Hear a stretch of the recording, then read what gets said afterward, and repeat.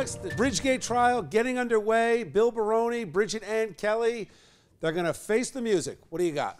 Yeah, Bill, it's finally here. The Bridgegate trial entering the first day of picking the jury, which is going to be an important part of how this goes down. But the real news here coming from the lawyers for Bridget Anne Kelly and Bill Baroni, who say both their clients will definitely be testifying on their own behalf when the trial starts. Uh, they couldn't make it much clearer. Michael Critchley, Bridget Anne Kelly's lawyer, saying without a doubt, Bridget Anne Kelly will take the stand in her own defense. Michael Baldassare, lawyer for Bill Baroni, said plainly Bill's going to testify and says his client wants to clear his name. Now, today, very little went on in the actual jury selection. We found out there are 253 people who have been called.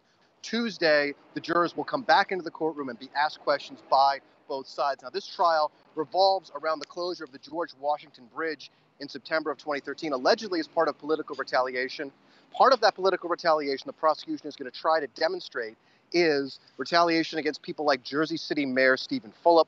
And Governor Christie's office lost a court battle on that score on Friday as a judge ordered the personal email of the governor to be searched to fulfill a public records request made by a newspaper who want to see the emails that Christie might have been CC'd on that canceled a meeting with Fulop, allegedly just part of that political payback culture that's going to be on trial here in Newark.